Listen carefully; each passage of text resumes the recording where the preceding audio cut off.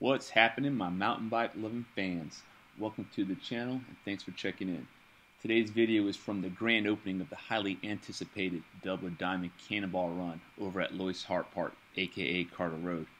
If you enjoy going fast, hitting doubles, sending it off drops, and flying weightless off of wooden launch features, this trail will hit all your adrenaline junkie senses.